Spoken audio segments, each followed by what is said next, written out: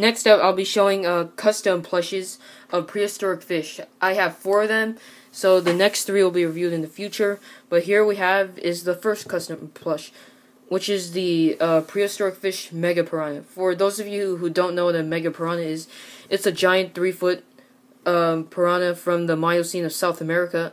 Not much is really known about it since only part of the upper jaw with three teeth has been found. So scientists really can't determine if it's a herbivore, omnivore, or carnivore, but they likely suggested it's a uh, omnivore because the teeth seem to be a cross of a red belly piranhas and a herbivorous pacu.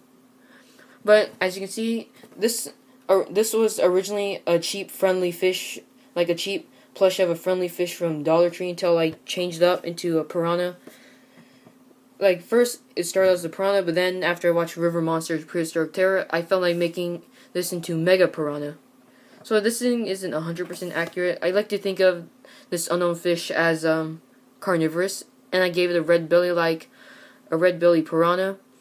He's uh, really cool too, and I'm I think I'm proud of my own uh, creation, even though it was really dollar, originally Dollar Trees. And let's size this up quickly.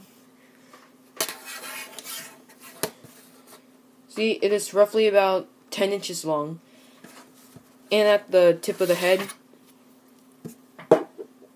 is three like three and a half inches. So this is a pretty big toy. And whatever like cheap fish plush you can find try converting into a Megapiranha because this fish is very underrated along with its effectiveness. So this is it. The next one i the next one i'll be reviewing will be in the future. You'll find out. So stay tuned. Like this video subscribe and comment and hope you guys enjoy